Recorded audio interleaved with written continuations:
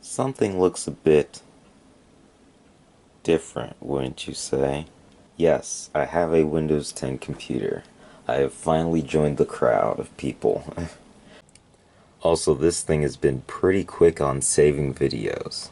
I still can only save one video at a video project at a time, but luckily it does save pretty quickly. I mean, I saved a 40 50 minute long video, which was one of the BrickFair panel videos, and it didn't take that long. It take it took way shorter amount of time compared to again this thing. So, yeah, this is it's not like super buffed, but it is twice as powerful. So, that's always good. And I still have not filmed the BrickFair haul video from like what, 2 3 weeks ago. As you can see, the stop motion project is going to be on a slight hiatus, just a tiny one, hopefully, while I try and, you know, figure stuff out with the computer, uh, probably work on other videos that I've needed to do, um, clean this mess up, um, etc., etc. That's just like how life is. Sometimes projects have to be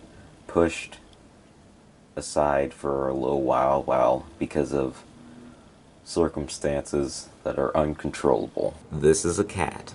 I can't honestly think of anything else, but I know I'm going to remember something by the time I upload this video. It always happens. Because you know how I am, I'm always coming up with something. That's both a blessing and a curse. Okay, so thank you for watching. If you enjoyed it, don't forget to like, comment, and subscribe. Bye! If you enjoyed this, why not check out some of my other videos? Okay, bye.